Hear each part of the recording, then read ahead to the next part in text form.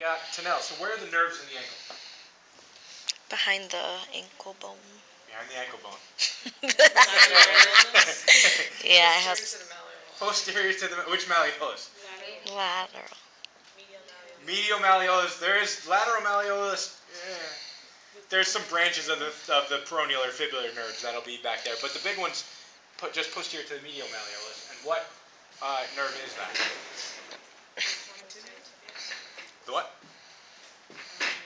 Oh, come on. Say the second part of that, not the first part. The tibial. Yeah, there we go. Not common tibial. so it's the tibial nerve, and you have uh, what else do you have here? You got a few tendons here. What, what, what tendons do you have there? Those are ligaments. Yeah. Tib anterior. Tib posterior. Oh, see, I, I forgot. No, you got well, did, but you said something, and half of it was right. Again, that seems like a common theme with you. Yes, tib posterior, flexor hallucis, or flexor digitorum longus if we want to go in order, and then flexor hallucis lo- longus, exactly. And uh, it's Tom, Dick, and Harry, so A N. So it's flexor digitorum longus, flexor hallucis. Wait, flexor digit or tibialis posterior, flexor digitorum longus, tibial artery, nerve, and then flexor hallucis longus. And so the the artery and the nerve are both the tibial artery and tibial. And does anybody know the name of this tunnel?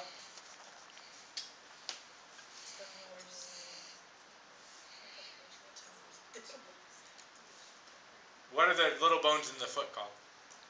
Tarsus. Is it the, Tarsal, tarsal, tarsal. I know tarsal. again, 50% of that was right. the tunnel part. Uh, it's, it's called the tarsal tunnel. So the tibial nerve coming through that tarsal tunnel can get really impinged, and- it can be, we can have inflammation of the tendons in there. The tendons could be hypertrophied. We can have some swelling around the ankle that compresses it, and that can cause some issues in the foot. So we can do Tinel's there, and there you can do again. You can do Tinel's anywhere in the body where there's a superficial nerve, and around the ankle there are a couple other spots. Where you take the dorsal pedal pulse, just medial to that, is um, uh, branches of the deep peroneal nerve. Uh, lateral to all of that, we have branches of the superficial peroneal nerve. But if I ask this on the test, I'm going to want you to, to do Tinel's at the uh, tibial or tibial nerve. Does that make sense? All right. So again, Tinel's not specific to the ankle. We do it anywhere at the ankle. Mo- the most common place, is going to do it right at the tarsal tunnel. So just posterior and a little bit inferior to the medial malleolus, and we tap with our fingertips like that. And if I suspect there's a problem here, I'm, pro- I'm probably going to sustain this tapping at least for 10 seconds, 10 to 15 seconds or so. And I'm really looking for neurological symptoms, not just tenderness from tapping it.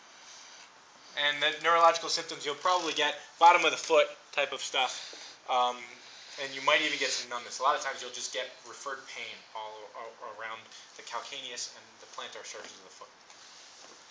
So then the last special test is for